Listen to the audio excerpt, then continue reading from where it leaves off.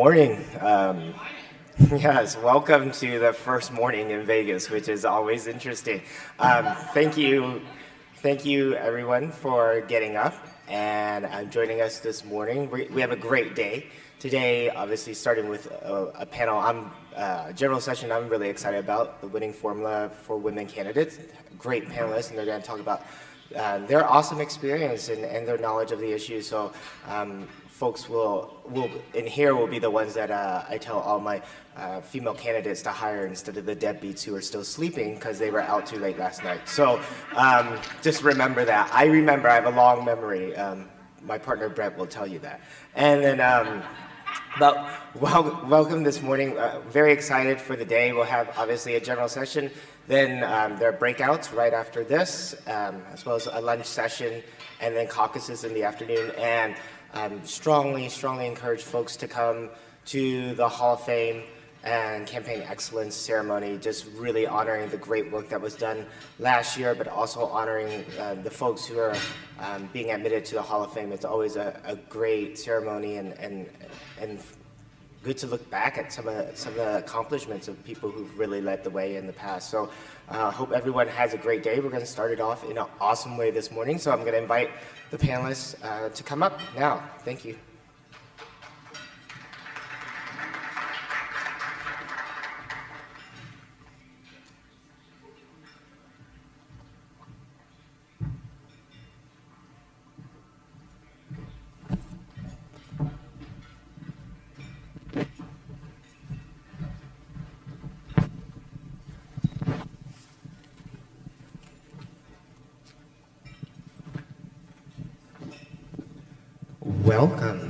Thank you um, for coming up here. So we are talking about the winning formula for women candidates. And so I'm going to allow um, the folks on the panel to introduce themselves and um, let you know about a little bit more about them and why they're actually sitting in front of you this morning. Um, my name is Micah Yousefi. I work for a group called Winning for Women. Um, I started out my career uh, political career on, on the official side. Very quickly realized that was not for me. Never have regretted making the jump to the political side of things. Um, went over to the House Republican campaign arm, the NRCC, and was involved in starting their women's engagement efforts there. And then in the, I guess, uh, let's see, 16 cycle, started consulting a little bit more on my own. In 17, I ran um, I think one of the more notable um, to this conversation races that I worked on there was Karen Handel's special election in Georgia in 17. And then um, went over to Winning for Women to help launch this effort. Um, it's a group dedicated to seeing more women seated federally. We're just focused on federal races right now, and we provide support, both hard and soft dollar support, uh, for federal women candidates. Awesome. Well, we have the Georgia Connection. Um, so my name is Shelbi Dantic. Uh, I started my career at Conservation Voters. I worked for candidates up and down the ballot from city council to Congress, including a lot of women um, conservationists. Um, in 2018, I was Senator Tester's deputy campaign manager, but notably for this conversation, last cycle, I was um, Congresswoman Carolyn Bourdeaux's campaign manager in Georgia's 7th Congressional District, which is the northeastern suburbs of Atlanta. Um, it was the only Democrat to Repu Republican to Democratic flip last cycle um, at the congressional level, so really excited for this conversation. Sorry, Hi, I'm Sam I'm a VP at Targeted Victory. Um, I help lead the General Consulting Division at the firm. Uh, I previously was a Chief of Staff in the California State Assembly, a Chief of Staff on the Hill to a member from uh, California. Um, I currently uh, uh am a General Consultant to uh, Senator Tim Scott, and I helped run the campaigns for Congresswoman Michelle Steel and Young Kim last cycle. Thank you. Uh, my name is Celinda Lake. I'm delighted to be part of this panel. And I saw out there in the audience two rows that I really want to acknowledge. It's wonderful to have a woman leader in this organization that's also committed to women. And we worked long, long time ago on a number of women campaigns. Um, our firm is Lake Research Partners, and uh, we have worked for more women in Congress than any other firm in the country, and also a lot of firsts and a lot of women of color. And I'm really honored to be um, here with this panel. I, And for eight o'clock in the morning, I would go anywhere for Larry. I admire him so much.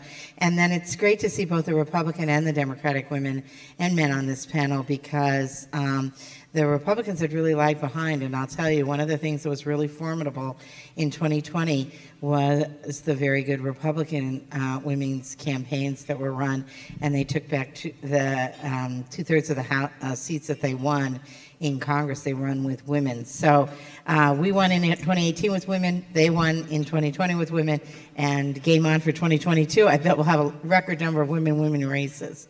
So delighted to be here. All right, let's get into it. I think Celinda's going to start with um, to level set the conversation with some research that she's done, uh, which is fascinating. Then we'll have the panelists uh, respond to, to, to the slides. Thank you so much. Uh, so, uh, what we want to share with you is just a little tapas to set the table, as we said. And um, hold on a second, Celinda. Can we get load the slides? These are from, I'll just introduce them while we're loading them. These are from the Barbara Lee Family Foundation, which has done a tremendous amount of research, more research than anyone else in the country, uh, bipartisan and particularly focusing on women of color as well as white women and looking at women as executive leaders. But I think there are a lot of lessons in this research for uh, women up and down the ticket. Are we able to load the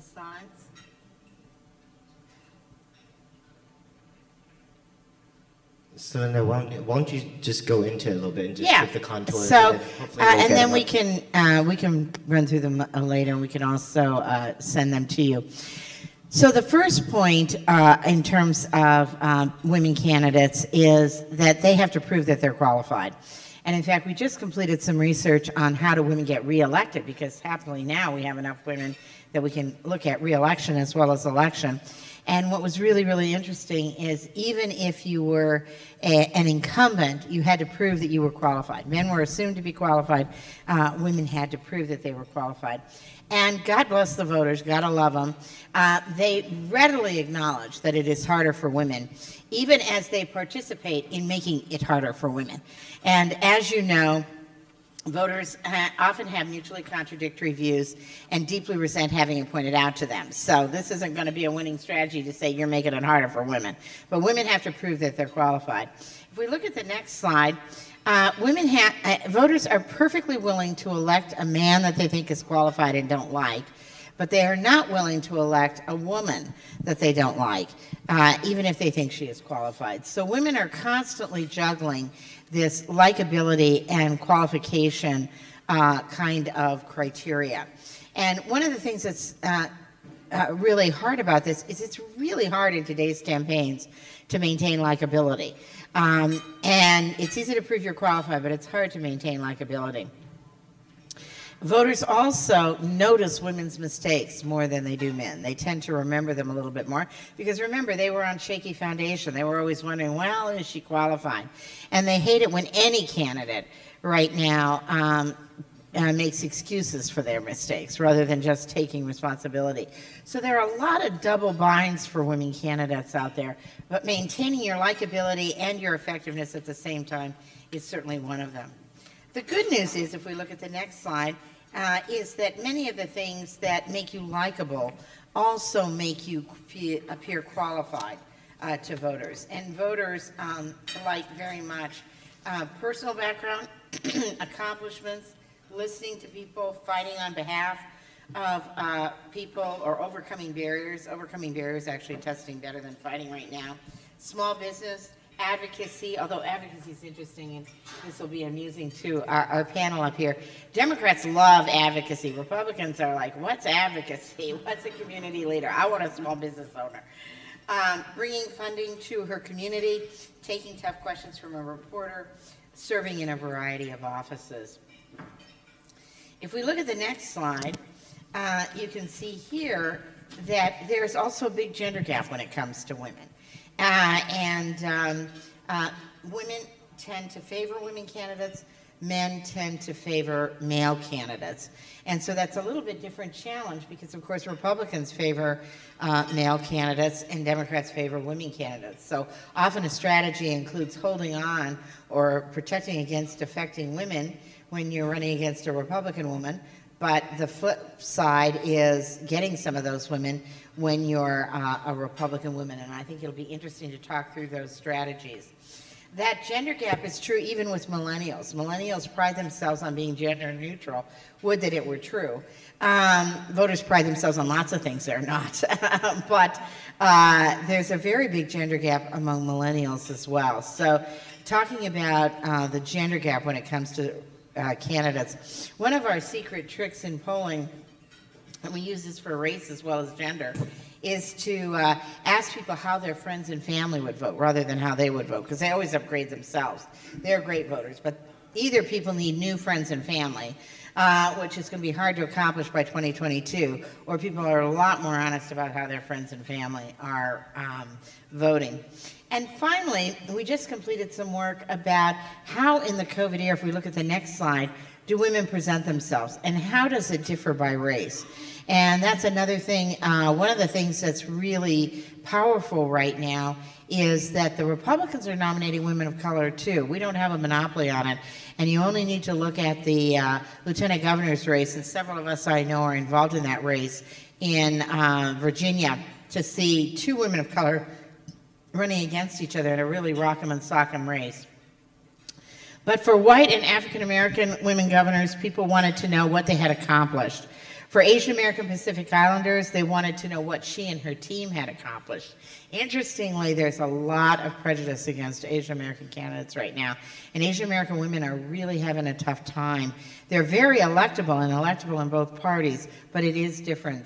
Latinas, they wanted to know what her goal was, whether she had made progress, and what her economic progress was. Latinas had the hardest time proving that they actually had an economic plan. And for everyone, they were less interested in the bill signing ceremony and more interested in being out in the community, listening and getting things done. That's the winning formula for women and frankly for men too, right now, listening and getting things done. So let me turn it back to Larry. Great, thank you. That was fascinating data, and I want to pass it off to other members of the panel to get your reaction. Um, agree or disagree? Micah? Sure.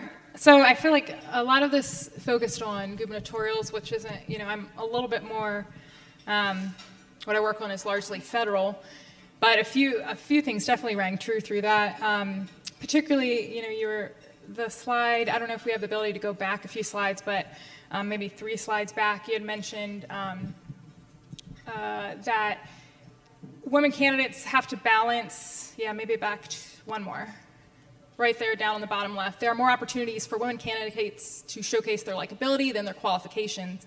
And we've done some internal research and work as well, just looking at how candidates, both primary and general, obviously totally different beasts, navigate races. And something super interesting we found, you know, to make sure we were doing it thoroughly, we kind of divided it by um, buckets of types of districts. So you've got, you know, red, blue, purplish districts, and then profiles of candidates. And so for the sake of this discussion, you know, I'll call one profile of a woman candidate the resume candidate, and we'll call another one the narrative candidate.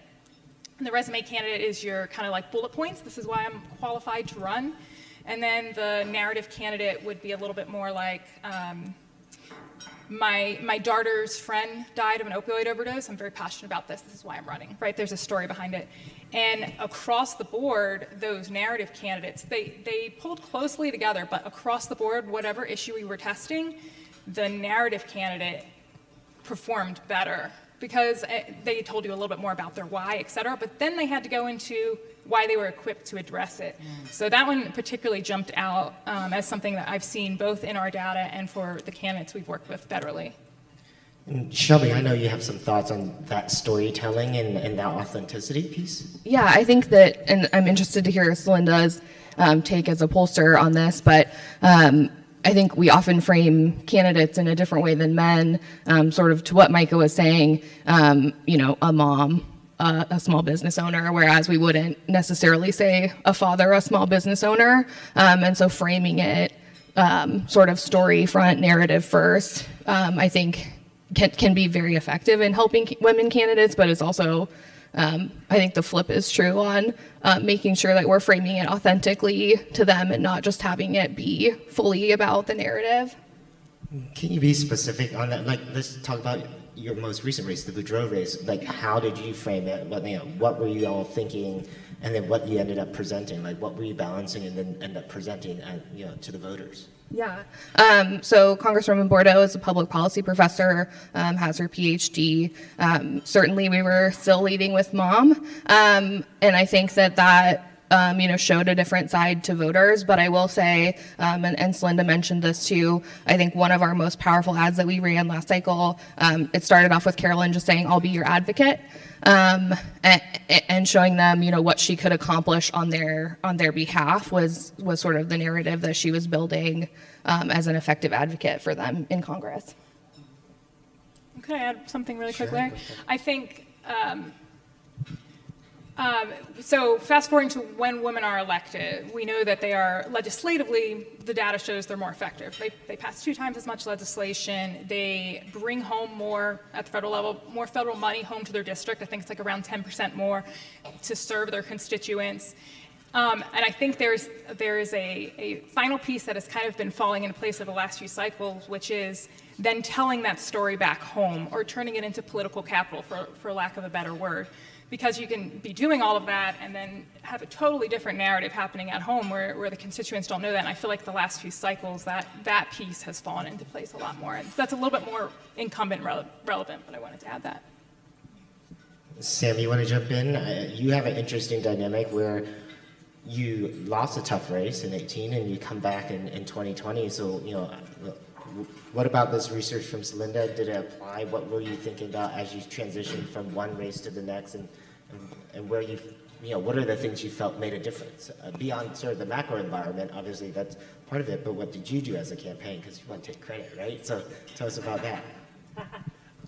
Um, I, I think one of the things is the, the electorate has changed quite a bit over the years as well, right? So, you know, it's more diverse, it's younger. Um, and uh, for a lot of different reasons, probably including like a, a you know, a motor voter or like uh, mail all male ballot states or what have you. But I think um, because of that, I, I, think there was a huge uh, uh narrative, what in 2018, uh, with the rise of suburban um, mothers, right? So I, I, think, and now it's there's a lot of talk about the rise of Asian voters or, or Latino voters, right? So I think um, because the electorate's a lot different, the way we talk about our candidates have changed quite a bit over the last several cycles. And, you know, I remember when, uh, uh, you know, I was chief of staff to Congresswoman uh, Mimi Walters, and when she ran for Congress in, I guess it was 2014, um, a, a lot of the, you know, messaging centered around her experience. She served in the state assembly. She served in the state uh, senate. She uh, she's going to continue that type of leadership in Congress, and in 18 and 20, we kind of shifted away from talking about uh, you, you, know, uh, experience and record and talk more about like per personal story. And that's something the panel has touched on quite a bit. If you look, look at down the chart, it even says served in the state legislature, which um, I think, you know, we saw a lot more of like 10 years ago. But yeah, I mean, what, some of the ads we were running for Young Kim, for example, it literally just said immigrant, female, conservative. And it was some of the best creative we ran all cycle. We ran it for 12 months at one point.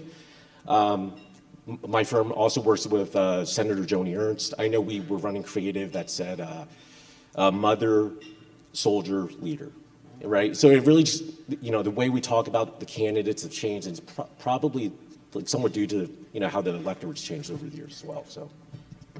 Great. Um, for folks, could you put up the slide um, that tells people how to send in questions, the Slido one? Thank you. So, folks, I encourage the audience to send in questions, and uh, hopefully they make the cut, and I get to decide that. But um, please send in uh, the questions. Uh, once they put it up, you go to slido.com, and they'll give you the code, hopefully, on that screen. Uh, awesome. So, let's move on. One of the things I find super interesting, right, is we've been talking about just probably in our minds the general election and, and, just winning the ultimate race. But there are real dynamics in primaries as well, um, as, you know, especially on the Democratic side. You saw in 2018. I don't think Emily's list had a great primary cycle. She, they just kept busting out and winning. You know, long shot you know, front runner. They kept winning and winning and winning. And so the dynamics in a primary, you know, how are they different in the general? And I'm curious about that on the Republican side too. It's like, what are the thoughts you're thinking? How do you run in the primary? And then sometimes, what do you have to pivot to in the general to be successful? And, and, and how do you make that pivot successful? Because sometimes they're, they're big pivots sometimes. So I, I, I open the floor to anyone who wants to jump in on that. I'll, I'll lead off. I think um, sticking with this kind of resume v story sort of um, way to present yourself or, or platform to present yourself, I, I do think Republicans were a little bit slower to get on that train. Like I think of um, really, really great female ads.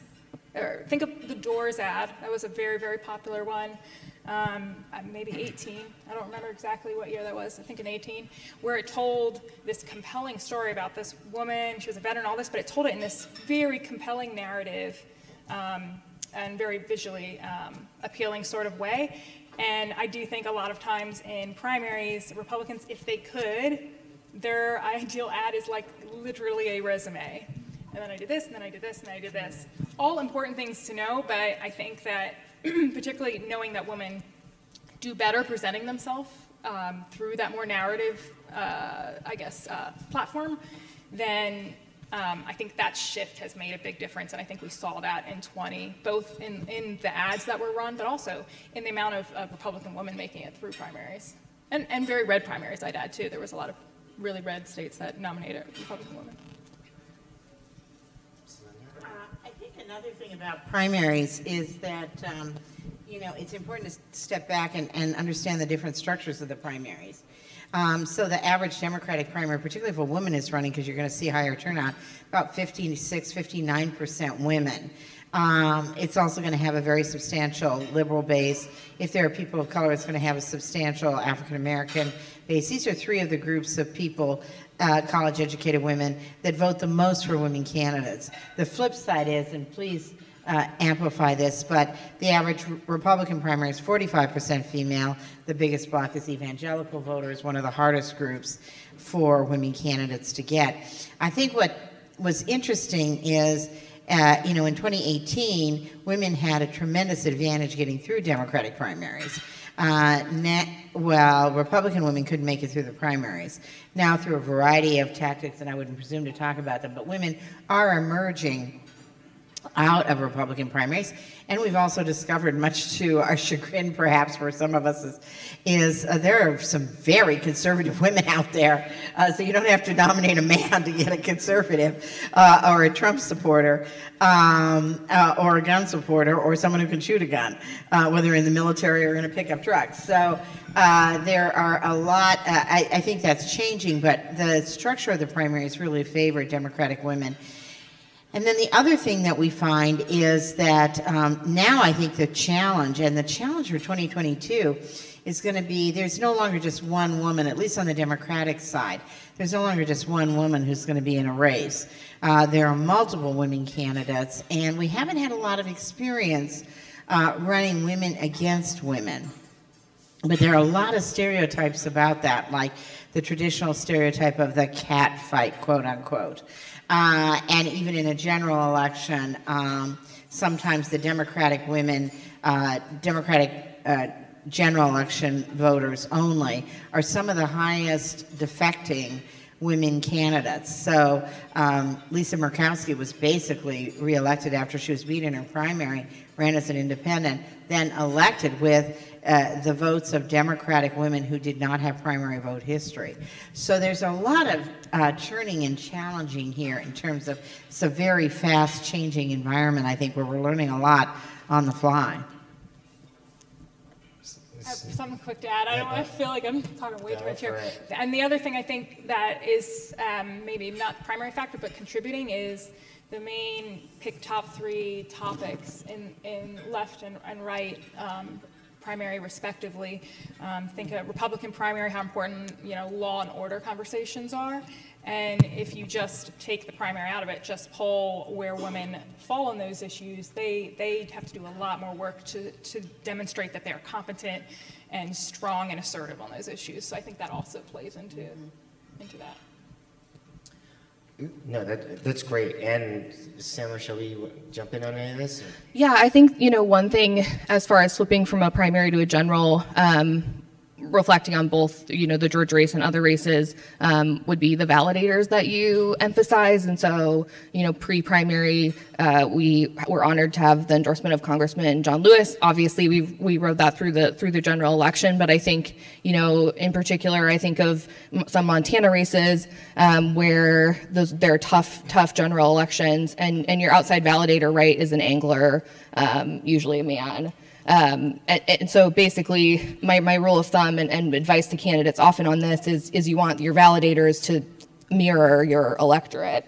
Um, and so whether it, it is that like the male permission structure or, um, you know, whatever archetype you're, you're going for there. But I think that that's um, an effective way to come at, you know, who you're, who you're highlighting on your campaign team. Great. Sam?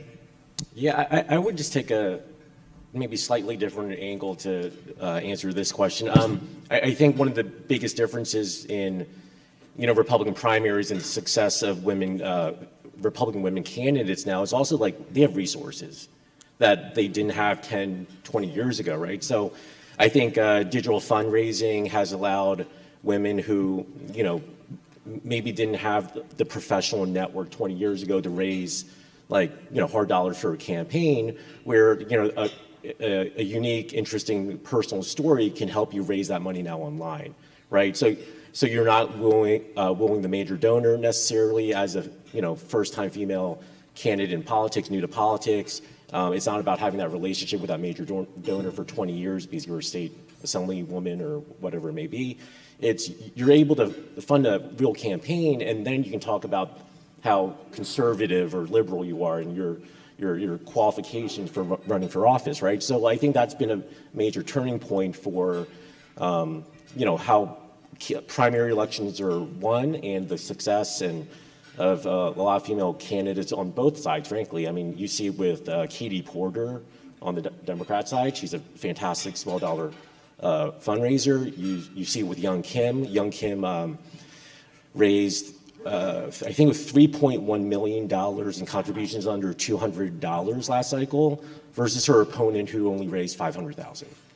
So I think um, that you know that really changes the dynamics of a primary election when you actually have resources that um, you can actually talk about you know how conservative or liberal you are, and you can talk you can have surrogates talking about you know, why you're the best candidate, why you, you should move on to the general election. And then I think also it's the evolution of like outside groups, uh, Winning for Women. They do a, fantastic job help guiding female candidates in primaries and then getting involved. And like we, we see a lot more uh, groups, uh, outside group efforts too to help uh, women get elected and, uh, and, and out of primaries. So yeah, and I love the fundraising angle because it's important, right? I mean, access for uh, candidates from sort of the non, quote unquote, non-traditional background has often been a hurdle from a fundraising perspective. Do you think on the Republican side, I have my hypotheses, but my hypothesis is a little bit like, saw all these women on the Democratic side win, get through their primaries and win, and part of the Republican activist base, the small donors, like, hey, we've got women on our side too who we think should be lifted up and it became like a point of pride thing and so you can drive the activist fundraising from that perspective do you feel like that was you know a, a shift in in the activist space or was just no i'm going to be harley ruda or i'm going to you know what do you think drove that change in fundraising and that opportunity for women um, I, I, think it was a strategic decision. I, I, mean, like California is a very expensive uh, place to run a campaign, and we're in the LA media market. So, you, you know, from a strategic standpoint, we had to kind of um, make early investments and like make that a, like a focal point of like how we were going to win these races. Um, you know, uh, a Republican candidate had not been an incumbent Democrat member of Congress in a general election in 26 years. So, like, we kind of had this like idea that we had to operate differently or you know the same thing would happen over and over again. So I think you know um, making that early investment and like kind of taking that I guess it seemed like a risk at the time, but you know now I would it's kind of funny to even think of it as a risk, but like uh, to you know engage with those folks, uh, you know see what we can uh, do on the digital front. I think that was like a huge uh, uh, shift, and I and like the cool thing is like you know we're seeing it now being done all over the place, right? It's it's almost like standard operating procedure for a camp, a, a big campaign nowadays. So. Um, I want to bring up just the. Do you feel like um, for women candidates, are are you sort of looking for, say, an open seat opportunity more than versus trying to go in after an incumbent? Is that you know what are the? Do you see a difference in opportunity in that? Would you, if you're trying to get a woman actually elected, are you looking for a certain type of race um, to give them a better chance? Just, and I'm like, oh, you you brought this up. Yeah. Uh, so I, I, remember seeing, I want to say it was uh, Columbia, Columbia University did some research. Um, so these are ballpark numbers. I don't have them fixed firmly in my head. But um, when male challengers run, female challengers run, men are more likely to win by something wild, like 300%. Like hundreds and hundreds of times more likely to win. That's in challenger races. If you go to open races, that number drops dramatically down to like 25%. More likely a male candidate will win. If you go to incumbent races, it's about even um, male-female incumbents. And so, so first, I would say, yeah, for female candidate, odds are dramatically better in open seats, but we are seeing that change. You know, that data, I, have been saying it for a little while now, so I know it's at least, that was from last cycle. So I bet even this past cycle, there was a lot, at least on the Republican side, um, 11 of the 15 flips in the House were right. by Republican women. So I'm sure that that number is skewing, you know, a little bit, you know, getting better from challenger to open. But it, no question, open seats are a better um, opportunity for women candidates. Yeah, one of the things I would say, uh, and and um, I, I totally agree with you on these studies that we've seen. There's uh, one little niche where uh, usually you're looking for an open seat for sure, and, and a lot of incumbents come back. But I will say those folks on our side uh, who are taking on primaries against long-term incumbents, both male and female, they have been more successful running women candidates. So in Democratic primaries, where the primary is the fight, where you're not going on to it, a general particular or a, you know it's a very democratic seat.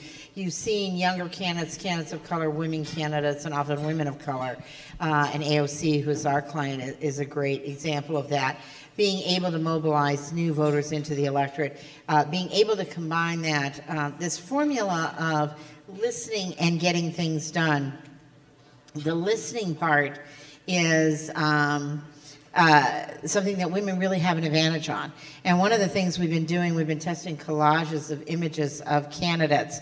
And uh, we put in that one picture where the woman is clearly the leader, but she is listening, she's not talking.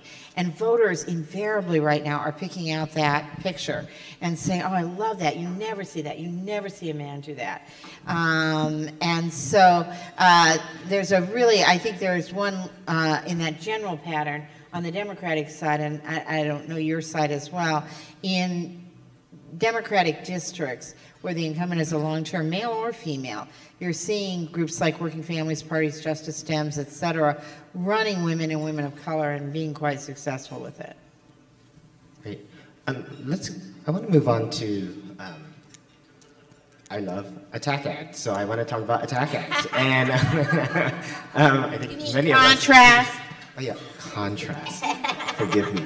Um, but I'm curious. Um, a couple different things.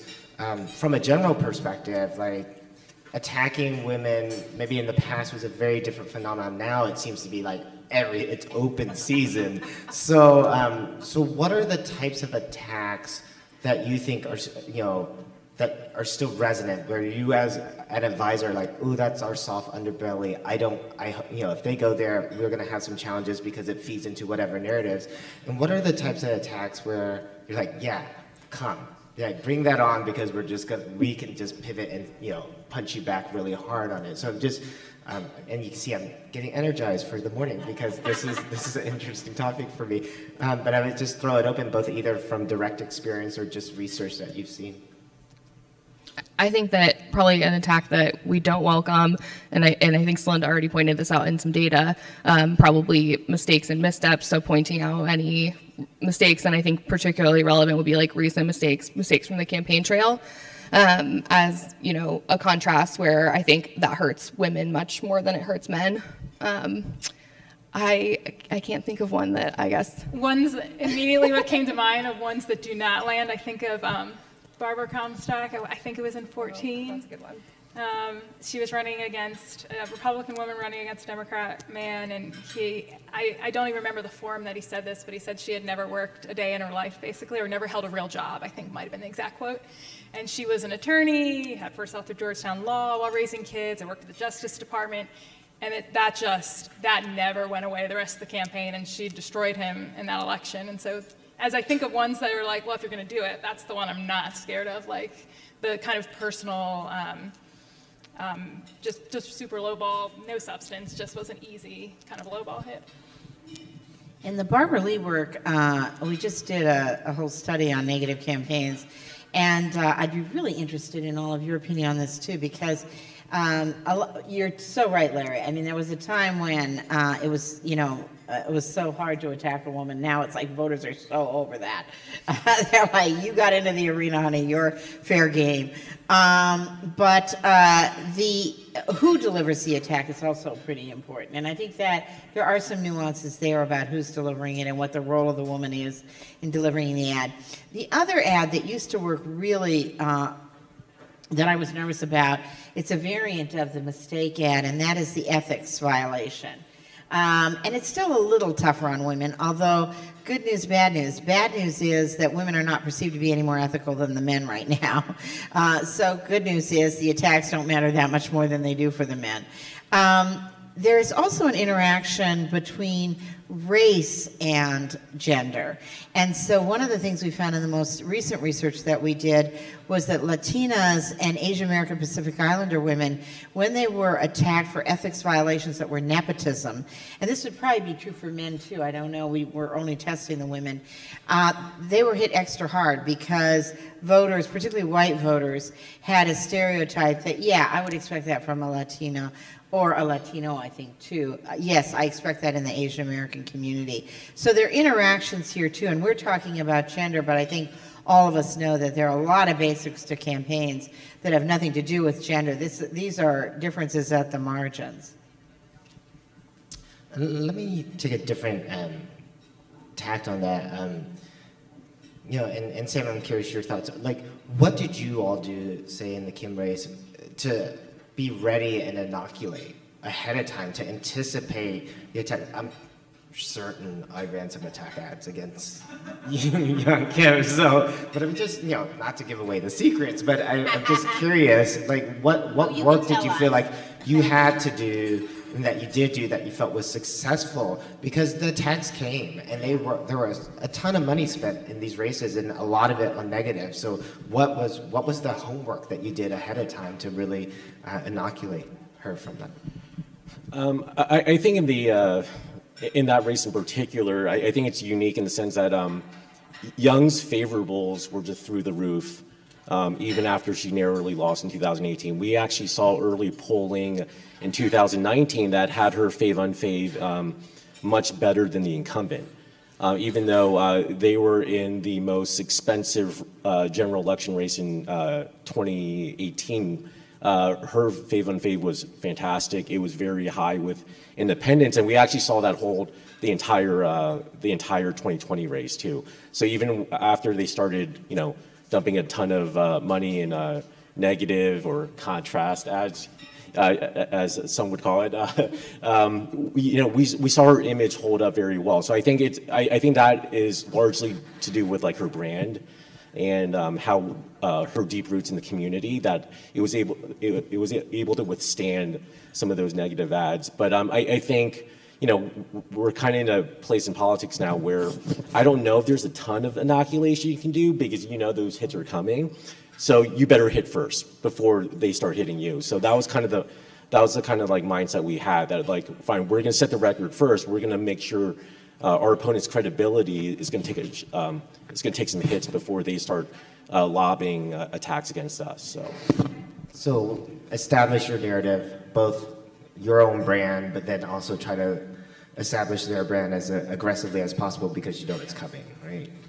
Yeah, I mean, in, in, in a lot of these target races, it's a it's a, almost like a race to the bottom, right? I mean, like, it's, you'll see, you'll oftentimes see in a targeted congressional or whatever race that, um, you know, both candidates have a image that's upside down by the end, right? So, um, knowing that that was how it's going to probably play out, the amount of money it was going to, um, the races were going to each spend, we just felt like, you know, in a, in a situation like that, I don't know that there was a lot we could do to inoculate ourselves, especially in a district that Biden won by 10 points. So. Well, I want to add, just add on to what you said, because we did one of the IEs in the contrast ads against you, and we were doing it for Planned Parenthood, and we went in to do focus groups first, and I just want to underscore two things that you said that were so smart and so smart strategy, and it was like, holy shit, we had assumed this person wasn't very well known and wasn't very well liked. It was like, holy shit, she's like really well known and really well liked. And um, they were like pushing back hard on,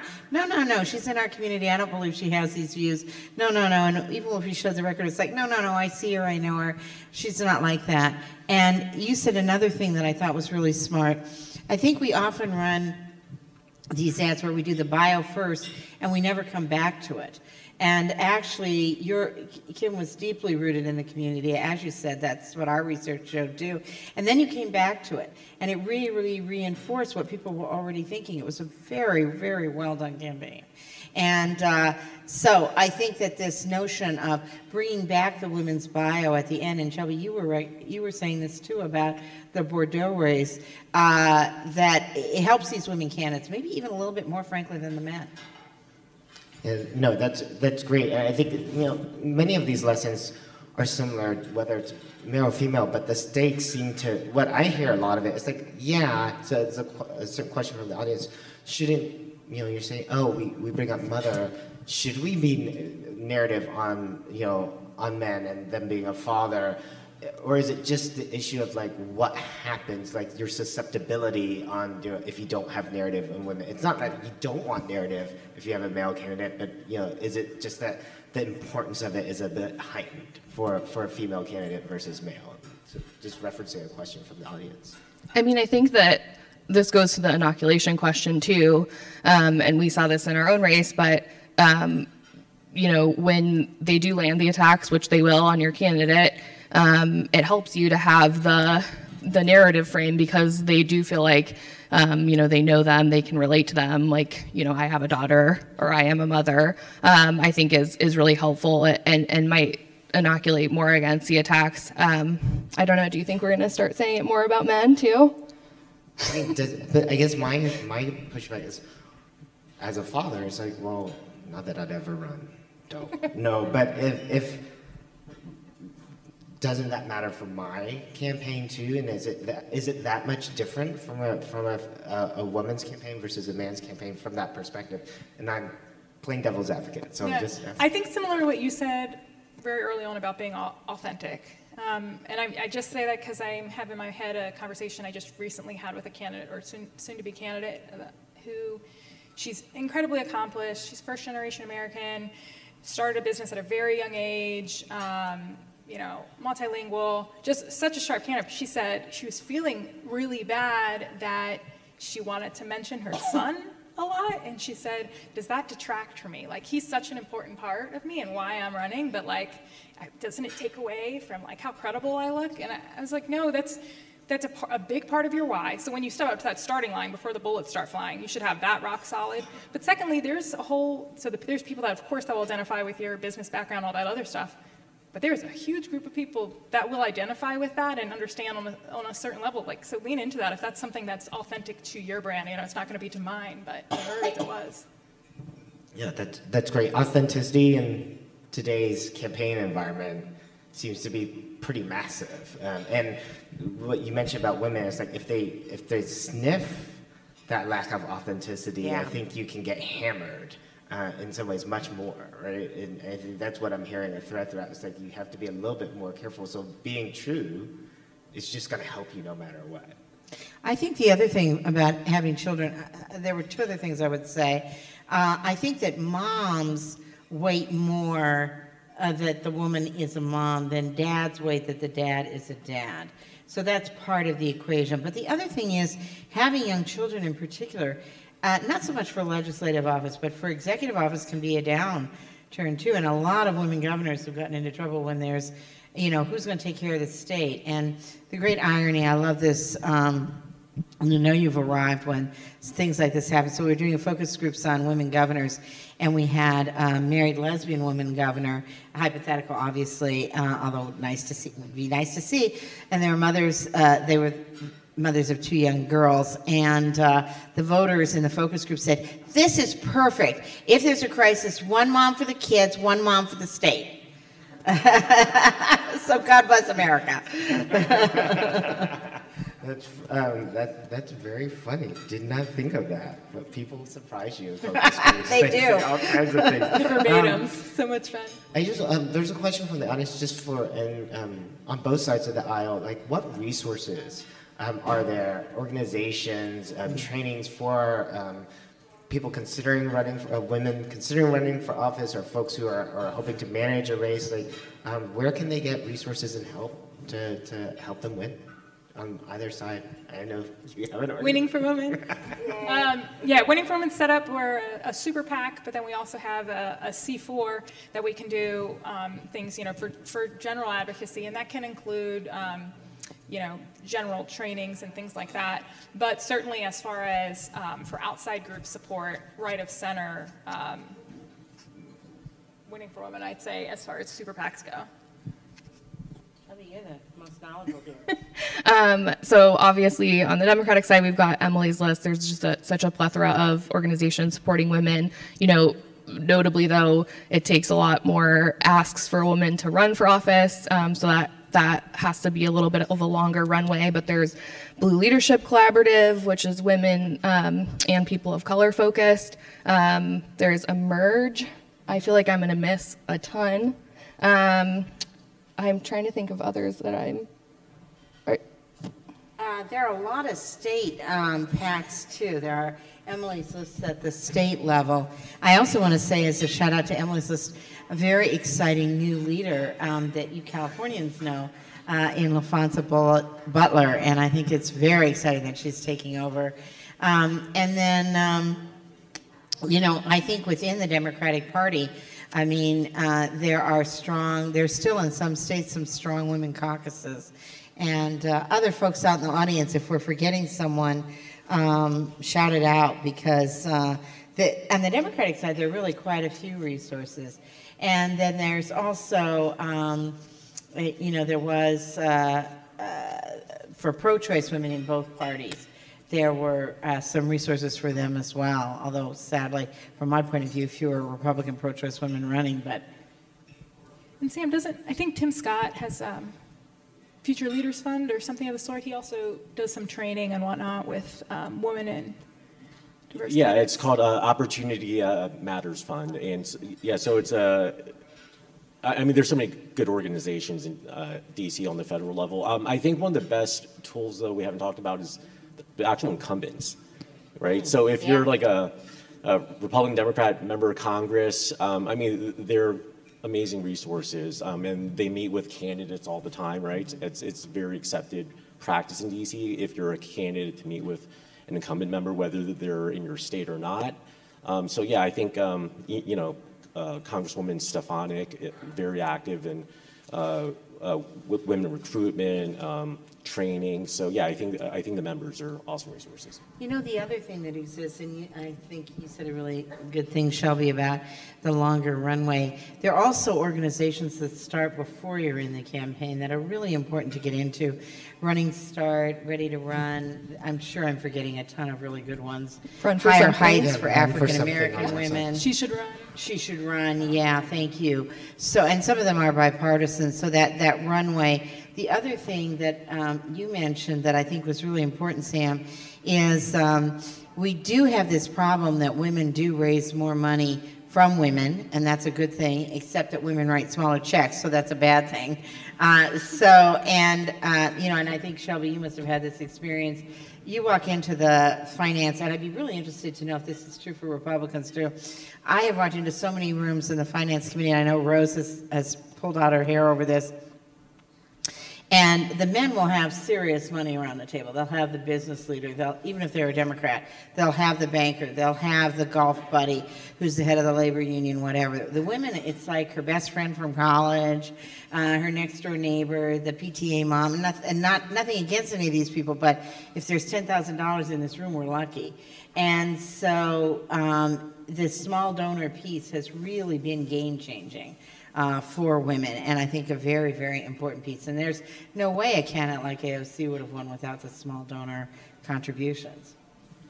Um, one last question. We, we often talk about federal or, or executive level offices, but I know a lot of folks in the audiences are running races up and down the ballot and really small races. And so, is there any specific advice you would, would give in terms of like the more local races, city council, you know, um, state assembly, those types of races, are there any differences there or things that they should consider or, or things that are less important than some of the things that we've brought up already? I mean, I think a great pipeline for women candidates is school board. Um, I, women have an advantage on on those types of races. So school board, superintendent, um, voters are more ready to vote for a woman. Um, I think no matter the party on that. But I think, you know, all of those are stepping stones for if they want to run for higher office, obviously having had run a race before is going to make their next race easier. Um, and I think is a good opportunity for folks that are doing candidate recruitment um, to look at those smaller offices to see who could run for the federal office. Because it's not just building those, I, mean, I think this probably goes without saying, but it's not just building those the support within your geographical area. It's also building the, those donor networks, which is why, you know, a, a, brand new woman candidate and a male candidate coming from the legislature has such an advantage. And it's not just name ID. They also already have a, a short list of donors to tap for max outs and things like that. So it helps you get started on that. You're not starting from scratch when you when you go for the, a bigger bite, whatever that seat might be. There's a lot more ability in those lower level offices, and you all are the experts on this much more than I am. Shelbi, you're a, really an, an, unsung national expert on this. Uh, the ability to run grassroots campaigns at these lower level offices, the ability to, not, not in California, which is like trying to win Western Europe, but, um, you know, in Montana, where Shelbi and I are both from. So good pick on the panel here. Um, the Mo Montana Mafia is strong.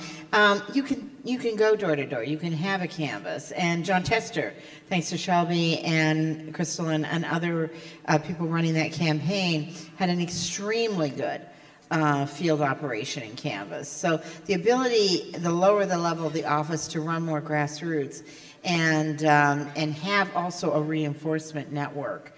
Uh, the other thing I would say that we didn't get to, but I, I, I want to lift up is uh, starting early to build a social media network, and I think Tim Scott did a brilliant job of this, thanks to you, I'm sure, of, uh, and Kim did a brilliant job of this, to protect against social media, because the social media, I don't care which party you're in, they go after the women with a vengeance. Uh, and it's like for the Democratic women, 10 times as much negative and sexualized and violent contact. For Republican women, twice as much. So establishing early on social media to defend against that really, really important. Um, and Celinda, uh, we, we just have a few more minutes, so I just want to and you can say nothing, it's fine. But is there anything that you want to lift up before, you know, one last thing you want to give to the audience about, you know, what is the thing for you, the winning formula for women? What's the one thing that we haven't brought up or you want to, you know, bring back up because you feel like it's so important? So we'll, we'll start. Um, oh, I think ahead, that, um, uh, you know, I, I, go back to the beginning, which is that uh, a lot of women still in both parties are still feel that they are outsiders. And uh, I, um, Barbara Mikulski uh, used to say, people said when she was first elected to Senate, boy, you're an overnight success. And she said, I'm a 25 year overnight success. Where you been? And the fact that, um, you know, uh, I, I, think it's really exciting to have a panel like this, even if it is at 8 o'clock in the morning, um, and to have such really experienced consultants. Uh, but a lot of the things are the same but I think women always still run a little bit as the outsider. Sam, any last thoughts, parting gifts? Yeah, no, I, I- think that's right. I think um, politics in many ways is still like the old boys club, right? So like, um, I always encourage uh, women candidates not only um, be authentic, but I mean, show some fire in the belly, right? Because I think that is a, that, that's a huge thing that um, I think not only is it like attractive to stakeholders, donors, you know, uh, voters, but um, you know, I think that's what people want to see right now. So like, I, I, I actually remember uh, being in a meeting with a, a candidate in 2019. Uh, uh, she was uh, looking to run for uh, Congress. Um, I ended up not doing so, but someone that uh, Micah knows as well. And she was like, I just got in trouble because I dropped an F bomb in a meeting. I'm like, well, I mean, if if if, uh, if you're inclined to do so, just do it. Who cares, right? It's like just go for it. Like show people, show some fire in the belly. It's fine. Uh, that's who you are. And and I thought that was like something that would actually work in her favor because she. Um, she's a total badass, right? So like I was like, hey, you want to show people that side of you. So I was like, hey, like you know, don't shy away from who you really are. Like, you know, in, in politics, that that will kind of work in your favor nowadays. So. Yeah, um, I think that really important for both candidates and campaign managers and, and women political staff would be to just build out your network. Um, Sam touched on this, but you know the Democratic Women's Caucus for for members of Congress is, is hugely helpful and an important um, tool and resource for for federal candidates.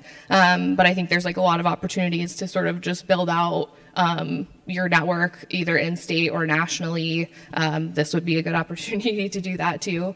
Um, but then I think the other thing is, um, you know, women are not men. You cannot use the, the man playbook. Um, and so I think there's like other, just when you think about running a campaign that's authentic to them, I think you just also have to be cognizant. Um, you know, there's like things to do to set them up for success. Like you might put a man in a pickup truck without a mic to speak to a big audience. Like that might not be a good idea for a woman. And just always making sure you're framing it up to put them in their best light to tee them up for success, um, I think as staff is, is really important.